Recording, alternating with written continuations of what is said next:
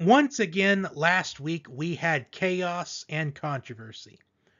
We had upsets and controversial officiating in multiple games last week.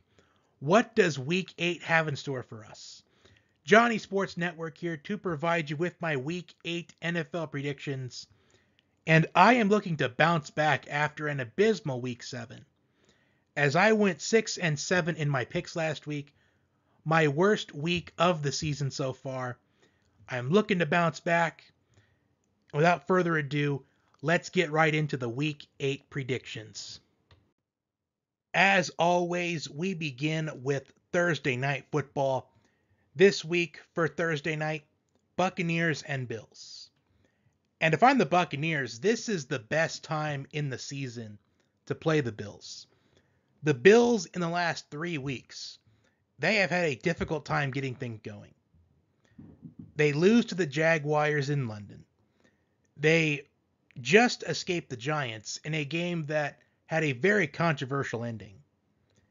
Last week, they can't get the ball moving against the Patriots in the first half, but they showed signs of life in the second half, but they surrendered the win in the waning seconds of that matchup. The Bills have got to get going at some point. And I think the Buccaneers have the intangibles to pull off this upset.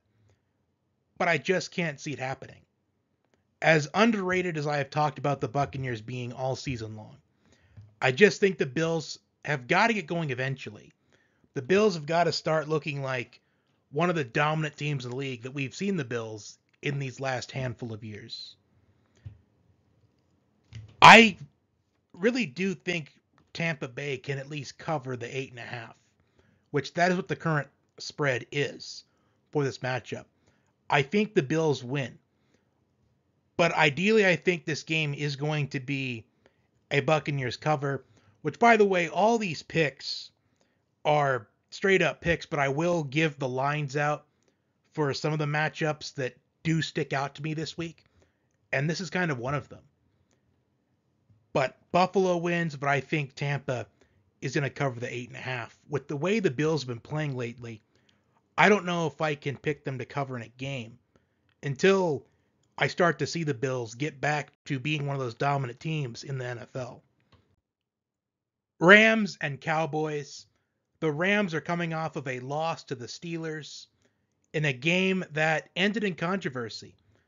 Steelers Rams was one of the games last week that had controversial officiating. It looked like the Rams had Kenny Pickett stopped on fourth and inches, with the Rams having a chance to tie the game up or even win it. But they gave Kenny Pickett the first down, and the Rams didn't have any timeouts to challenge the play. And the Steelers, they were able to run the clock out. And now they go on the road against the Cowboys to take on a Cowboys team that I think is very confident, despite what happened to them in San Francisco a couple of weeks ago, where they got embarrassed in prime time. But I think the bye week could not come any at a better time for the Cowboys than this past week. Leading up into that, they beat the Chargers on the road on Monday Night Football in a game that required them to have to grind for all 60 minutes. The defense stepped up and made a play when they needed to to seal the game up. Then they went right into their bye week. And now they're back home in Cowboy Stadium. And I think that is a recipe for a Cowboys victory. Now, last season, when these two teams faced off against each other, the Cowboys won by a score of 22 to 10.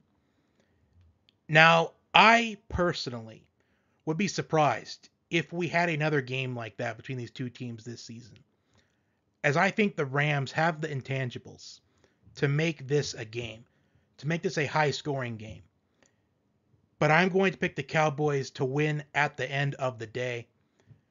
I think it just comes down to the Cowboys being more confident right now than the Rams because the Rams they realized they had a game last week that they probably could have had, maybe should have had, and I'm just picking the more confident team.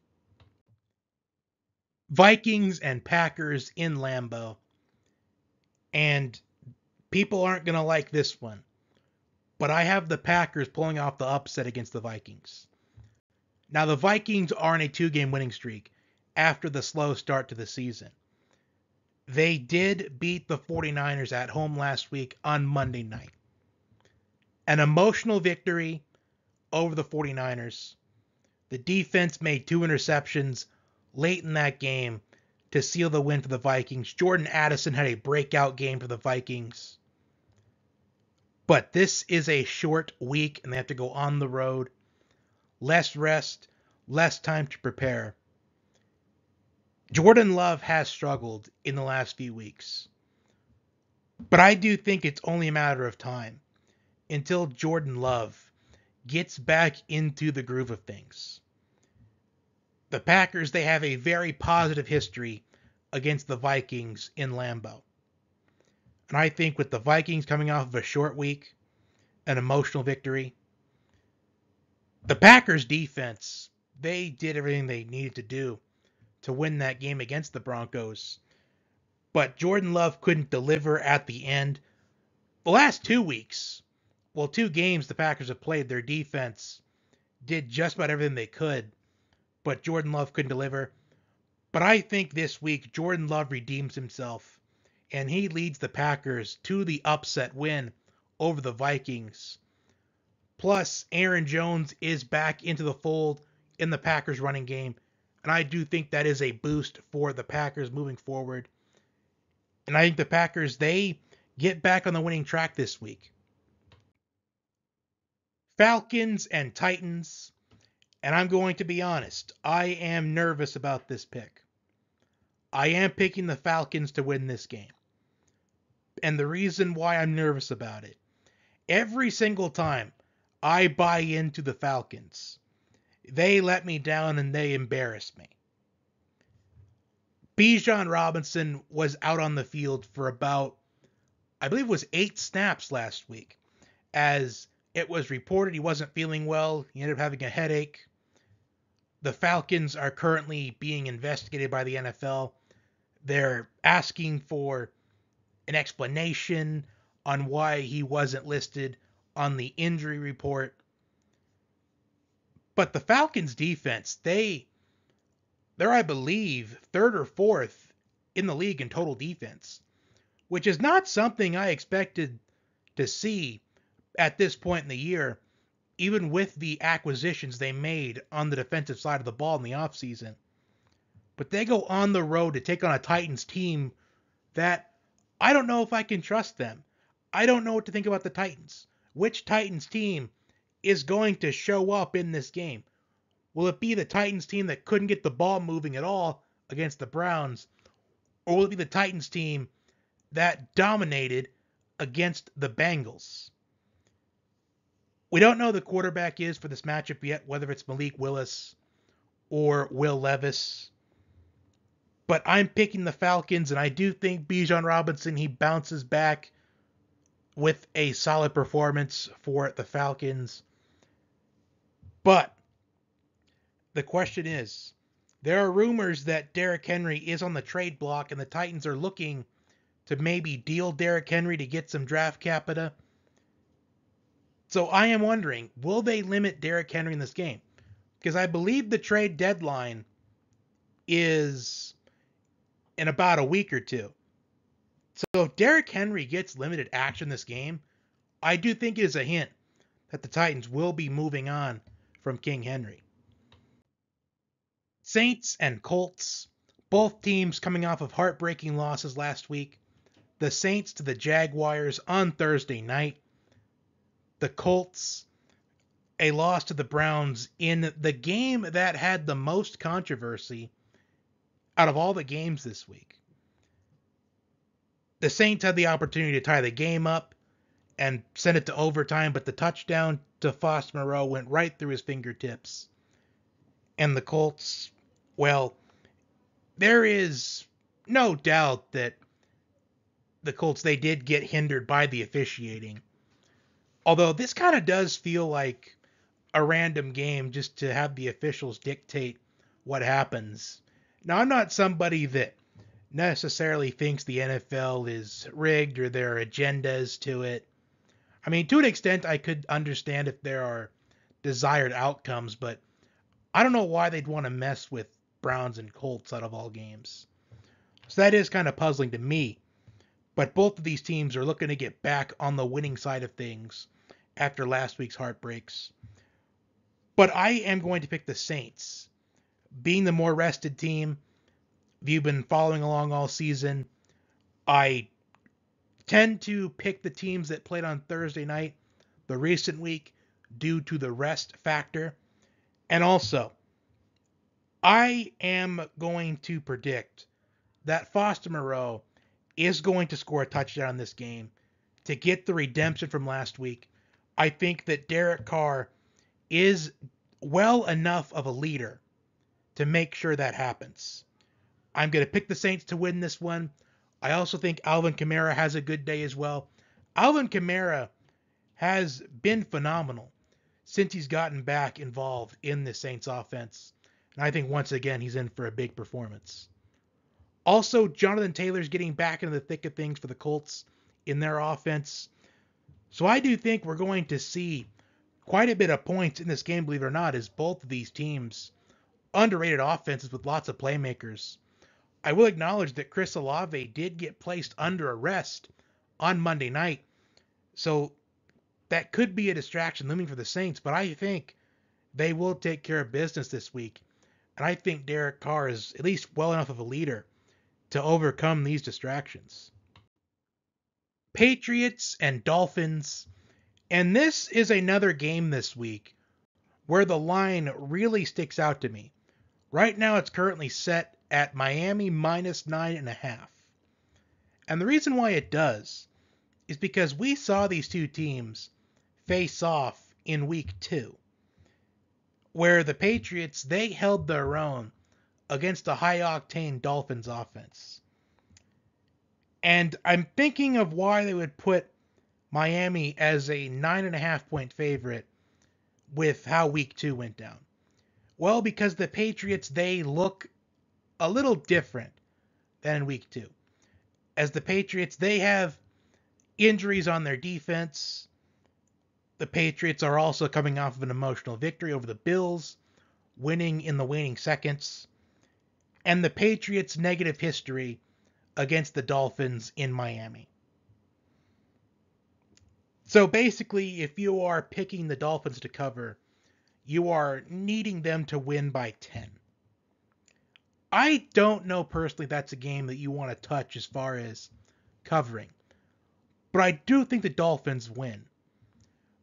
But the Patriots, they held their own against a high octane Bills offense. So maybe there is some exhaustion from having a tough battle against a high octane offense. Now you're facing another one in the Dolphins. So That could make sense.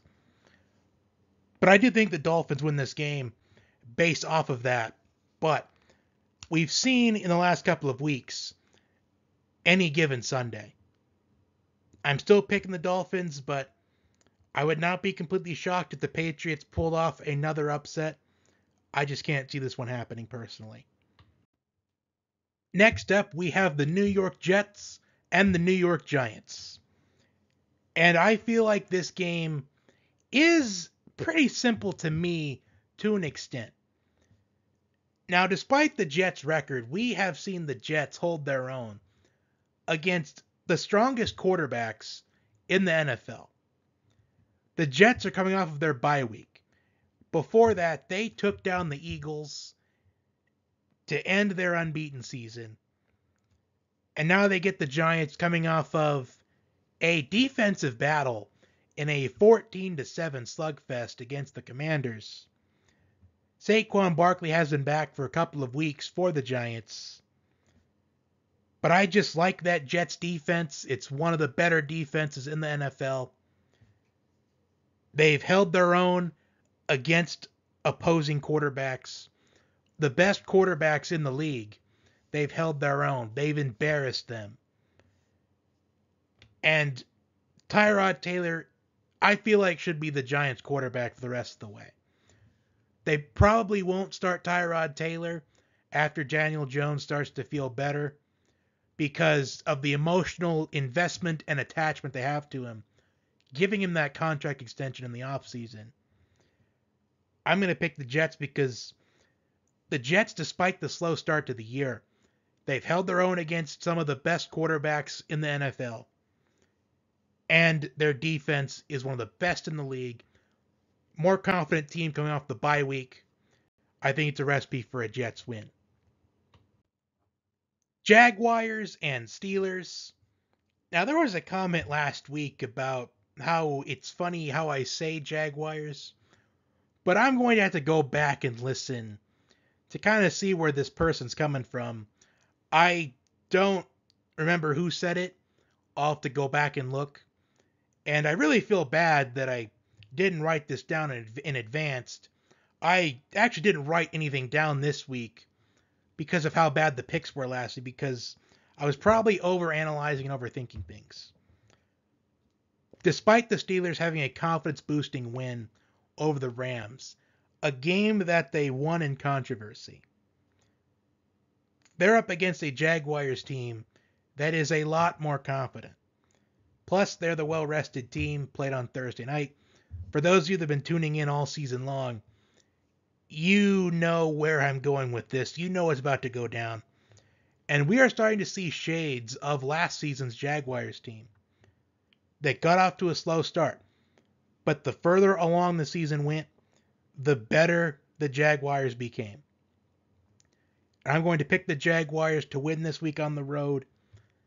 Although Najee Harris, I think he is more confident now that he has his first touchdown of the year. Diontae Johnson came back for the Steelers last week. And I will be honest, I was tempted to go the other way in this matchup, but I can't really go against my own theory and my own strategy of picking the Thursday night teams from the week prior. Although sometimes I will go against my Thursday night theory, but in this instance, I'm not going to because I just think the Jaguars they're getting confident week after week. Next matchup, the Eagles and the Commanders. And this one is pretty interesting. The Commanders, they seem to always, at least more often than not, give the Eagles their best shot. The Commanders look like a completely different team when they play the Eagles. We saw them end the Eagles undefeated season last year, handing them their first loss of the year last season. We also saw them compete against the Eagles really well earlier in the season on the road. They forced overtime, although Ron Rivera came out and said he was tempted to have them go for two instead of taking their chances in overtime, but he felt like the offense was exhausted after the long drive to score the touchdown. Now, I am going to pick the Eagles to win this matchup, even though I feel like I probably am walking myself into a trap, because, as I have mentioned, the Commanders, they look like a completely different team against this Eagles team. But I will say, the Eagles' pass rush, I think, is going to have their way with Sam Howell in this game. And I think I read somewhere that Sam Howell has been sacked 40 times already this season. I do not think there has been a quarterback that has taken more harassment than Sam Howell. And Sam Howell, he has still put up some pretty solid numbers despite facing constant harassment from the pass rush. So he has really, you got to give him credit though, being sacked 40 times this season in the first seven games of the year. Mad props to him for keeping his composure and still putting up some decent numbers. But I just think the Eagles are fired up after last week. The confidence boosting win over the Dolphins, containing a high octane Dolphins offense. I just think this Eagles defense will have their way with Sam Howell this week. Texans and Panthers both teams coming off of their bye week. The Texans are having an under the radar type of season, and they are doing a lot better than anticipated. I still think they are a couple of years away from getting to that next step, but that could be earlier than anticipated if they keep playing the way that they're playing. The Panthers, they are looking for their first win of the season, and they have had some valiant efforts so far this season. Week two against the Saints on Monday Night Football. They held their own, but they just couldn't get it done.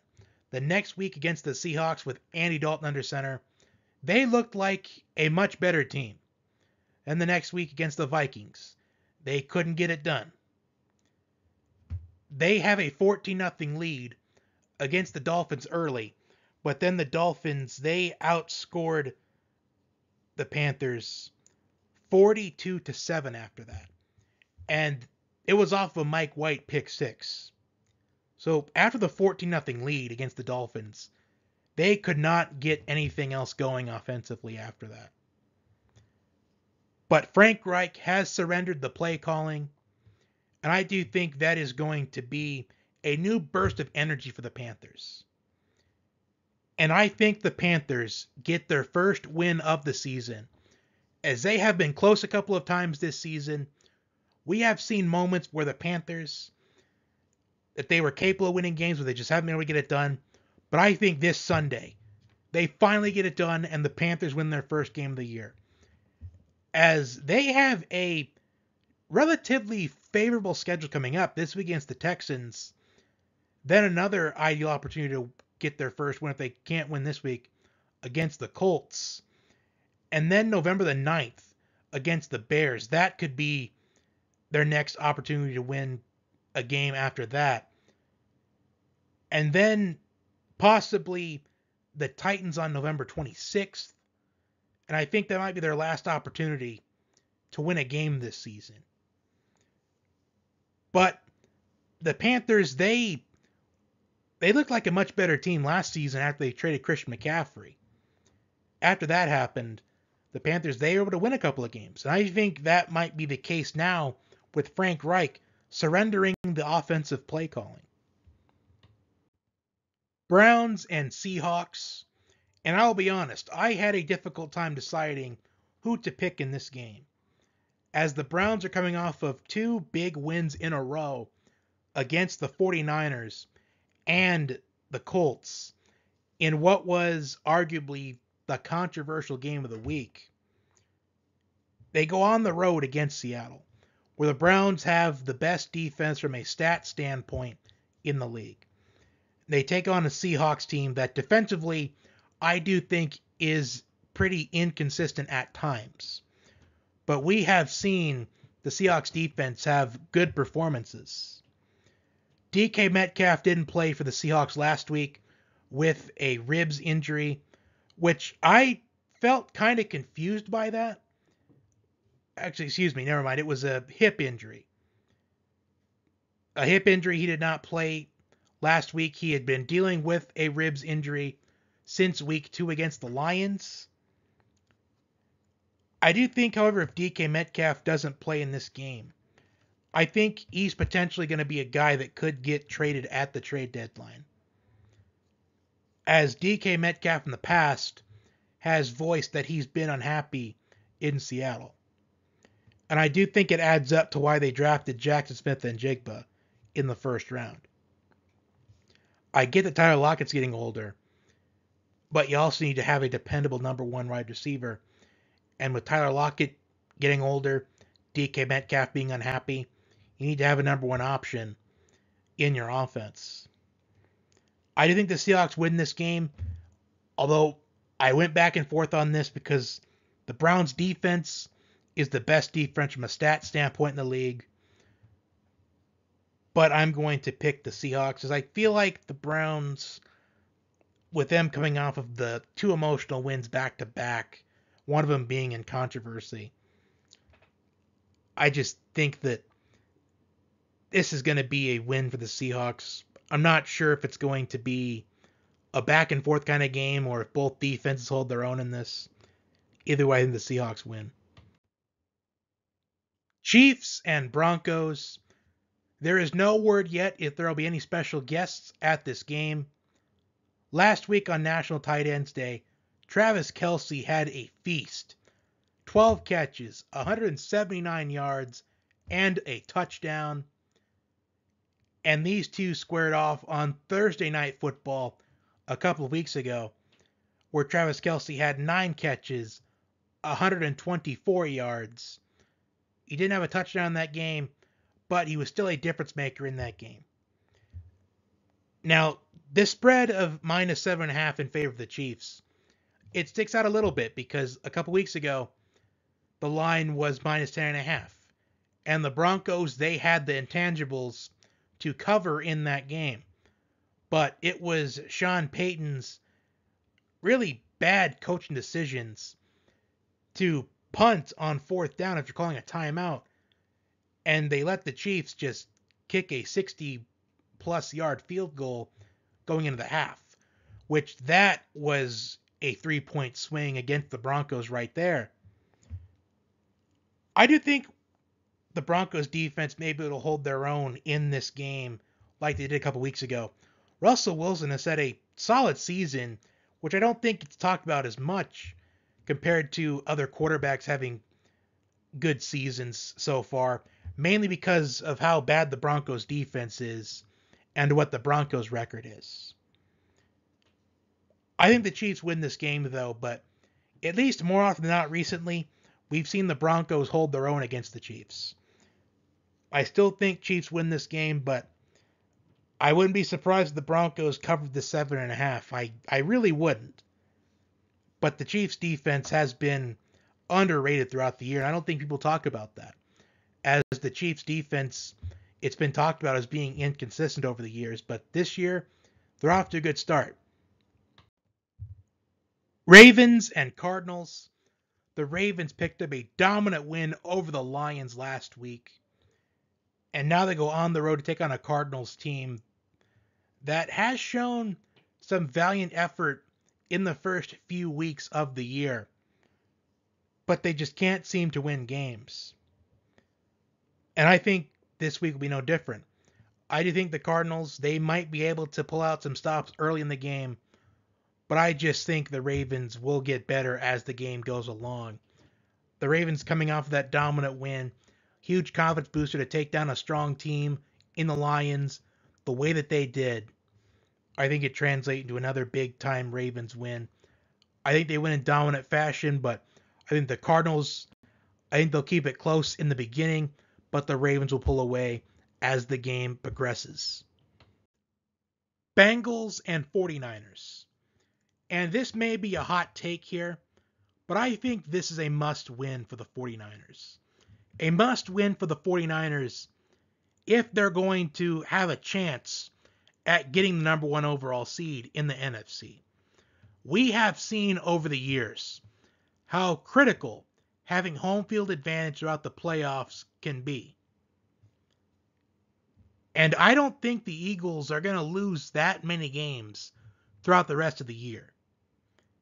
So if the 49ers, if they want to have a shot at the number one seed in the NFC, they've got to win this week. I don't think they can fall any further behind the Eagles for the battle for the number one seed in the NFC. Because even though the 49ers are on a two game losing streak, I think the Eagles and 49ers are the two best teams in the NFC. And they take on a Bengals team that I don't know what to think about them at this point, and I think a lot of people don't know either. But we've seen the last couple of seasons. The Bengals get out to slow starts but they get better as the season goes along.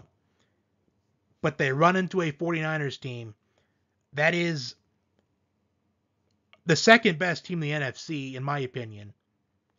Despite them having two losses on the year back to back, I think the 49ers being back at home as they've been on the road the last two weeks, I think they get the sour taste of defeat out of their mouths and they pick up this win. Bears and Chargers. The Bears are coming off of a dominant win against the Raiders last week. D'Onta Foreman, three total touchdowns in that game. Tyson Bagent, won his first NFL game as a starter. And now the Bears go on the road to take on the Chargers. And the Chargers, they have been, it's been the same story for quite some time. They will have a chance to win a game at the very end. And more often than not, they won't. They will lose that game. They'll find a way to lose the game. And the Chargers, they are not good in one possession games. More often than not, they will lose. But I think the Chargers, they get a much needed win after last week against the Chiefs, where Justin Herbert did not have the best game by any means. But I think he bounces back this week. I think Austin Ekeler bounces back this week, as Austin Ekeler has not produced as much as we're used to seeing, but he has been coming back from an ankle injury. I think this is the week Austin Ekeler finally gets things going against the Bears. I think the Chargers, they win this game big. Week 8 wraps up with Monday Night Football, Raiders and Lions. And I think this game comes down to one simple thing. With this being a battle between two teams that need to get back on the winning track after bad losses last week the Raiders to the Bears, the Lions to the Ravens. The one thing it comes down to for me in this game is coaching. There is no doubt, and I'm sure even Raiders fans would say this. Dan Campbell is the much better coach in this matchup. There are Raiders fans that want Josh McDaniels fired. They want Mark Davis to be smart and fire Josh McDaniels. It's that bad right now for the Raiders organization. Dan Campbell is the coach I think is more likely to get his team re-energized after losing the way that they did in the week prior. Forget about the players in this game. Forget about the quarterbacks, the running backs, the stats and the numbers. It just comes down to coaching, in my opinion, this game. And I'm going with the better coach in this matchup, and that is Dan Campbell. And I'm picking the Lions to win this game on Monday night. And that will do it for my Week 8 NFL predictions. Comment your picks down below. Like, share, comment, and subscribe. And enjoy the football this weekend.